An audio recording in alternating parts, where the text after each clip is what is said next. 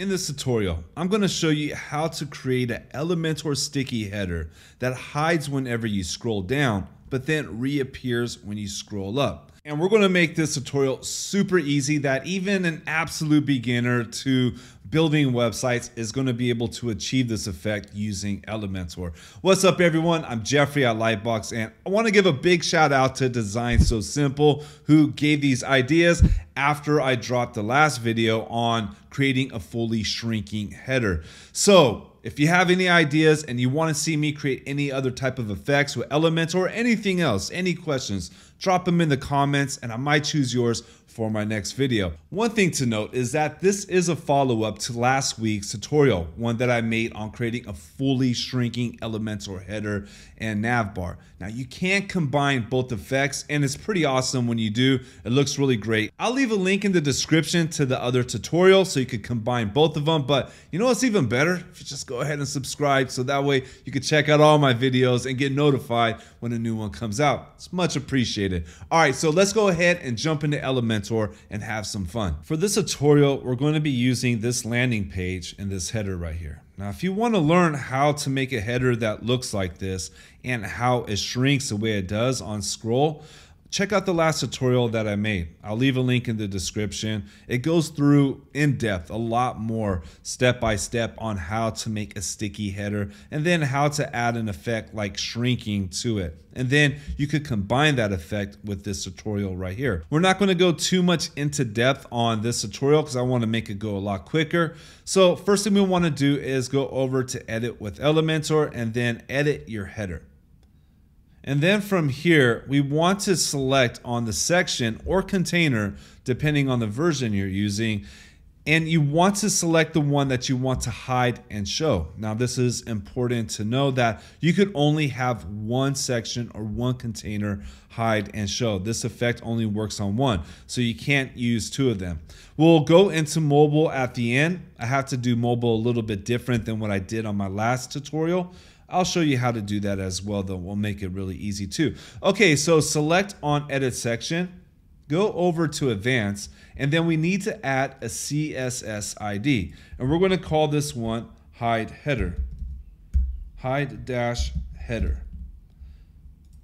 All right, with that, go ahead and select on update. The only thing that we're also going to need to do is we got to make sure our header is sticky. So we got to go to our section up here and if you're using container, it's going to be the same thing.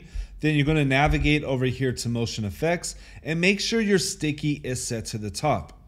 Now you could choose if you want it on desktop, tablet, and mobile. We're going to do all of them right now because I do want to show you how to make this effect on a mobile as well. But the rest of the settings like this effects offset and how we built the header, we're not going to go into that on this tutorial. I suggest checking out the last tutorial as we go through all those more detail. And also, say you already got your header, you already built it, you're good to go, you don't want any other effects, you just want to do the hiding and reappearing, then all you need to do is make sure you got it on sticky, it's on the top, and then make sure that you got the CSS ID right here. And that's it. The next step is we need to add a snippet of code. Now, don't worry about not knowing code. It's all good. All you got to do is copy and paste it. I'll show you exactly where to put it. There is a link in the description which will take you to this page, which is a blog tutorial for the same effect right here.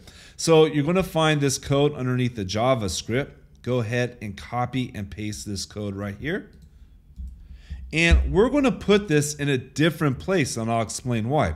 So where we want to put this at is going to be in the footer of all of our web pages. So go over here to your dashboard.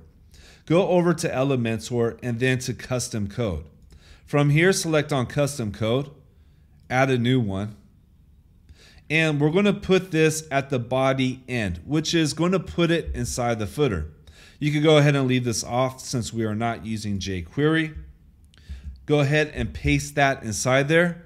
Click on publish, leave it on entire site, save and close. Now, the reason why we are adding our CSS here is whenever we put JavaScript or a code file that doesn't need to load right away, we add it at the footer of our web pages. It improves the load time because the web page could show without it having to load it. We don't need this effect to load right away, so I try to put as much as I can in the footer, and this is one of those times I would put the JavaScript snippet into the footer. Now, let's go back to our site, select on refresh, and we can see it's already working. And that is it. It's really simple, just like that. The only part you're going to need to edit inside the JavaScript is going to be this part right here the minus 80 pixels. Now, what the 80 pixels is, this is how much, how high your header goes up to hide above the screen. So you're going to want to match this with your header height. Say for an example right here, I'm going to put 60. Let me update that. And let me go back over to my my site. Now you can see it's kind of showing. You know, you see, because it's not high enough. So what we would do here is we would go back and we would start to increase this to get to the right number of pixels that is the height of our sticky header. Now you can see it's hiding all the way above the screen. So that's the only thing you need to do. Now the next thing you need to do is we got to add a little bit of CSS. So let's copy and paste this right here. And I'll explain why we're going to add this. So copy it. And I'm going to put this right here because I want it all to be together. I just want everything for my hiding header in one section. If you want to put the CSS somewhere else and you're more comfortable with CSS, go for it. It's all good. It could work in other places as well. Only the JavaScript I will make sure to keep here in the footer. So inside the CSS, what this does is this is going to change the speed of how quickly the transition of your header goes up and down. So right now we have it at a 0.4, which is 0.4 seconds. Uh, I find this is a good speed right here, but you might want to speed it up. If you want to speed it up, you do something like 0.2 seconds. If you want to slow it down, you could do something like one second. And I'll show you real quick. Let's put four seconds right here. Let's update this. And I want to put something really big so it's like easy to see.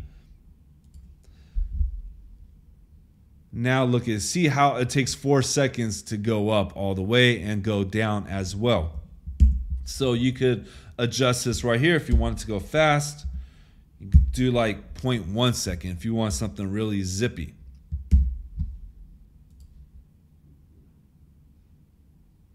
You see, it's almost instantaneous. So I like a little bit of a transition. I'm going to leave it at 0.4. I think that's a really good place to put it at. That is it for creating the hiding and reappearing menu on desktop. Now, if you are following along from the last tutorial and using the shrinking menu on top of it, there's something we got to do a little bit different when it comes to the mobile. So let's create this for the mobile effect as well. Normally, I like to keep my desktop header and my mobile header separate. It just allows me to have more flexibility.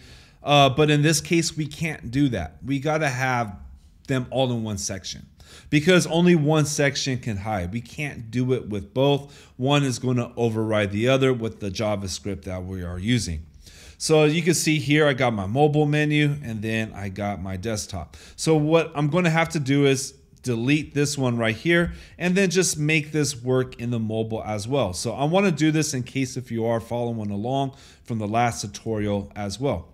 So the first thing I want to do is let me copy and paste the style so I can match this mobile style to this mobile menu right here.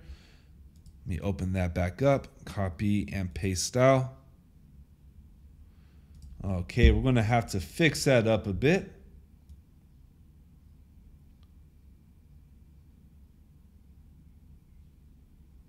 All right, we're good right there. So let me go ahead and just delete this now because we don't need it. What I do need to do though is select on edit section, go over here to responsive and make sure this shows on each one. Now I want to hide this button right here because if we go down to tablet, well, it's just going to be a little too much right here. So I'm going to go here to advanced, then to responsive, and I'm going to hide on both. And then we can't see it right here, but because this is not going to show, When we look at the live version, this should go all the way over to the right, and then same thing on mobile. And here on our mobile view, you can see our mobile menu is also now hiding when we scroll up, and then when we scroll back down, it appears. And that's it. It's super easy to do. Anybody could do this. And you might be wondering why will we even add an effect like this?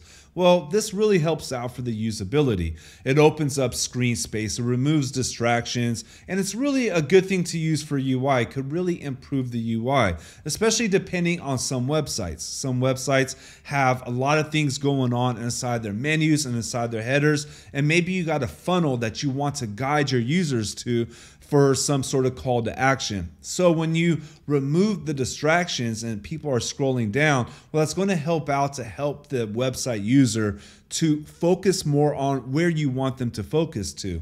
And then when they scroll back up and they are able to see the navigation, well, that also improves the UI because now it makes it a whole lot easier for your website user to navigate. Well, I hope this video helps out. And if you notice, I'm always trying to drop some design gems. I, I like doing Elementor tutorials. They're fun. I love Elementor. I was like, I'm always discovering new things that I could do with it and I want to share it with you all. But I also want to show more on the design part and understanding it because it's really important to understand why do we do the things that we do. That way, when you finish a tutorial like this, not only are you going to be able to put a really cool header on your website, but you're going to know more going to understand more. That's my goal. So if you want to learn more about design you want to learn more about building things and improving your website skills, make sure to subscribe. You know, do all that good YouTube stuff. It really does help. And leave comments. If you have an idea for anything, I'm listening and I respond to everybody because this is all for you. I really appreciate it. Thank you, and I'll see you again soon with more Elementor and web design related content.